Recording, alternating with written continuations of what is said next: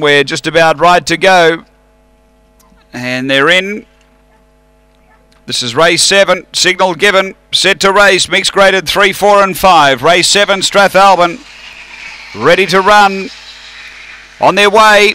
Pace uh, initially, Spring Daphne. There's some heat coming though, pushing on Benno. Oh, just got a little half check from Spring Eagle who goes to lead. Spring Eagle from Benno, a couple away, Alan Punter. They were followed by H and then Spring Daphne. Uh, next is Trademark Boss, yes, Sergeant Daniels Kelly on the turn and Spring Eagle gets away from uh, behind those Benno and then Alan Punter, but Spring Eagle too good.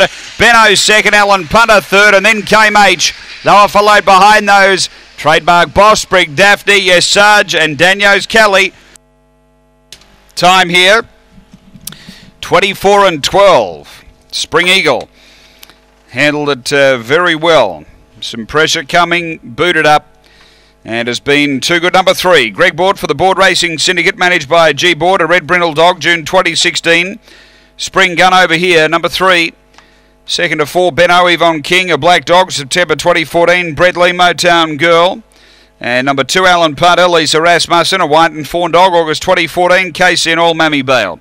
Numbers are three, four, two, eight runs fourth. Uh, race seven, Strathalbyn.